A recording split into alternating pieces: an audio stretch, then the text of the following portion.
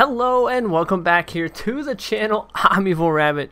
We are taking a look at some shakedown runs of a different tune in my HTC-Z, but we're not going to be using the HTC-Z anymore. We're going to be going into a new project, but before we get into a new project, because it'll make more sense, I'm going to give you guys a little bit of a backstory on where the name Evil Rabbit came from.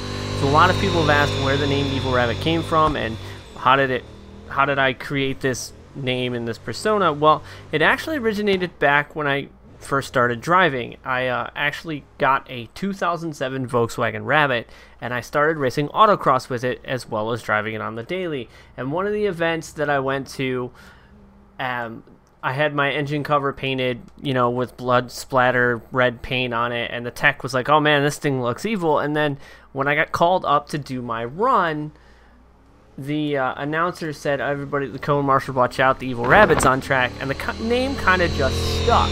So I had that car for many, many years. It went through various transitional changes into, you know, different style wheels and back. And as you note here in the window, the Evil Rabbit European plate, which you guys have probably seen in some videos. So the name kind of stuck with that. Since I owned a 2007 Rabbit, the name Evil Rabbit stuck after racing with it.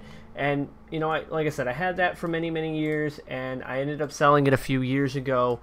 And definitely was a very fun car and I had a lot of fun with it. Took it all over the place. Went to Deals Gap, drove Deals Gap with it, raced it in Florida as well as you know in Ohio and stuff like that. And you know it was on CC Murcielago wheels when I sold it, full roof rack and everything like that. And you know, so that is just a little backstory on where the name Evil Rabbit came from because you know it's you know when you're creating a persona or a nickname you know, happens sometime and it sticks. You kind of just go with it. So that's where the name Evil Rabbit came from. I've had a lot of people ask me, where did the name come from? How did you get the name Evil Rabbit? Well, that's a little backstory for you guys on where the name came. So that brings me to the new project that I'm going to work. So, Evil Rabbit for me is been a nickname of mine since the beginning. So Volkswagen was where I started my career. Uh, I started my career at a Volkswagen dealership in Florida, and now I work for BMW. But Volkswagen was where it all started because it was my first street car and things like that. So let's get into the new project.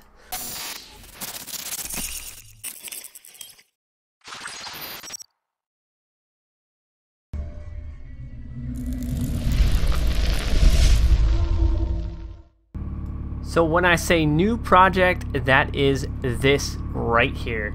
Taking a WRC Polo rally car and making it into a drift car. So with the little bit of backstory of knowing where the Evil Rabbit name came from, it would be only fitting that I do a Volkswagen build for a comp car. So we are here to shake down this. Of course, I'm going to be doing the modeling and everything more on this, you know, removing most of the interior, changing out the wheels, doing all kinds of cool things to this car to make it more of a drift car. So we do have the suspension set up and everything set up for drifting. Nothing is perfect, but the physics and everything are there. So we're going to go shake this down today. And then we will get into more of the modeling and things of that nature. And the videos will probably be going up, you know, on the channel as well as on the Patreon page. So building a WRC rally car into a drift car is my new project because it suits me very well when it comes to the name Evil Rabbit and this, you know, YouTube persona with the name, knowing my backstory. So let's uh, let's go shake this car down some. So this car is massively loud, and I love the turbo flutter that this car has, and the cracks.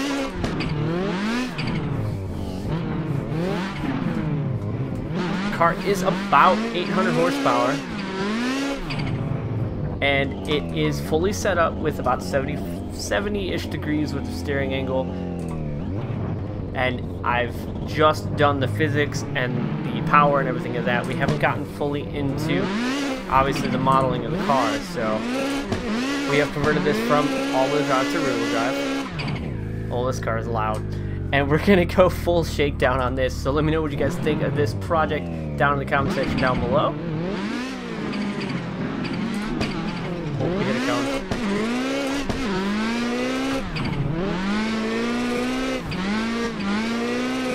so a little bit shaky on the entry, but the car seems to be handling the physics and everything pretty well, actually.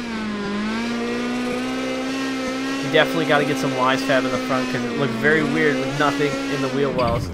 But for a first run out here at OSW with this car, definitely a lot of fun. Having a hatchback, you know, is kind of like, you know, cheating when it comes to drifting in a sense. Osmo and Ryan Tuerck run those hatchbacks, and it's just you can get so much closer to a wall, and the chase car behind you has a little bit of a disadvantage when it comes to getting close to a wall. But I feel like this car would suit me very well and be very different because I feel like I'd be the only one out there with a polo competition drift car. Just got to make sure the cons allow hatchbacks, which I believe they do, as long as it meets all the other requirements. And for first shake of this car with the wheelbase being so short compared to some of the other cars that I've tested, this is uh, handling quite well. It's not super twitchy, which I expected it kind of to be really twitchy, that cone. Oh, I expected it to be really twitchy, but it's actually doing quite well. And uh, I'm slightly impressed with how the car is handling with just a first try. And I definitely love how this car sounds. That little turbo flutter and the crackle when you're shifting into gears from like the anti-lag system, it's definitely fun. There it is.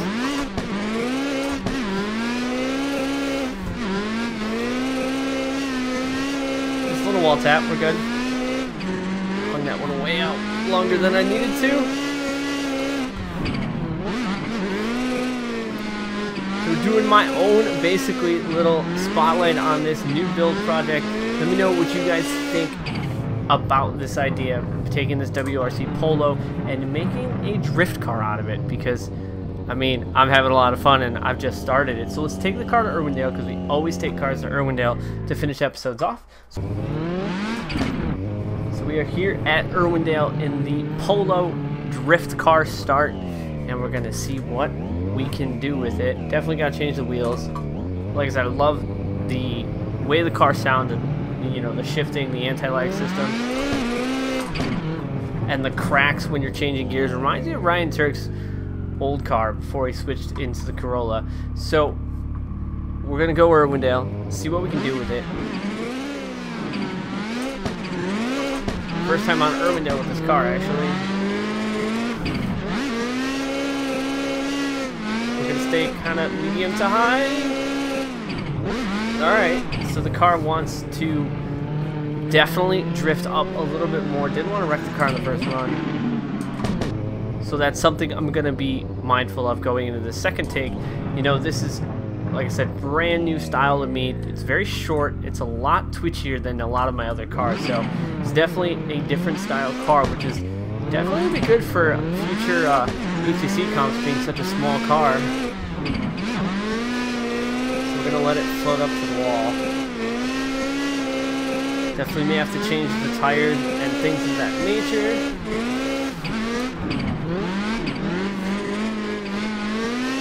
But I think I have a new favorite car that we're going to make into a full blown out competition spec car with the high mount brake lights, front brake light, you know, window banners and full, you know, gutted out interior and things of that nature. Of course, you guys know I'm removing the side windows and doing more modeling, changing out the seats, steering wheels, and things of that nature on the inside of the car. So if you guys want to see that, make sure you guys subscribe to the channel, and follow me because I will be continuously updating you guys on the progression of this car. One final run here for today's episode in the Polo Rally Car Drift Car project.